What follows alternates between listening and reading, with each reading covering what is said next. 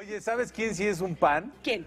María León. Uy, ¿cuál pan? María Son León es unos- un... ¿A poco no? Sí es un pan. A veces sí le Oh, pusieron, sí. le pusieron mucho, ¿cómo se llama el de Oye, pero Mucha defi- levadura. Defiende a Mijares de quienes dicen que está pasadito de kilos. ¡Oh, Y si yo quiero que- chéquenlo, por favor, ¡No por- cotorreen con el peso! Ah. En exclusiva, María León sale en defensa de Mijares, con quien compartió escenario hace unos días en un concierto virtual junto a Yuri, Río Roma y Pandora.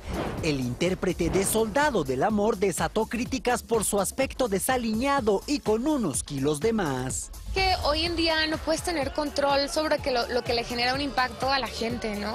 Lo importante es que a raíz de lo que sea la gente pueda da- echarse un clavado, apreciar lo que fue el concierto, porque fue un concierto hermoso, muy difícil de lograr. Tú sabes que en estas épocas post-COVID todo es muy complicado, se tomaron muchas medidas de seguridad, este, pudimos convivir muy poco en el escenario realmente, no había público, El COVID ha dejado a María León marcada, por lo que nos invita a ser más positivos en lugar de solo criticar. A mí en lo personal he tenido pérdidas, he tenido momentos difíciles, he tenido que no ver a mi familia, entonces sí me marca y sí me convierte en una persona más empática y más solidaria y pues no sé, invita a que todos de pronto sí interioricen un poquito para que no salgamos igual.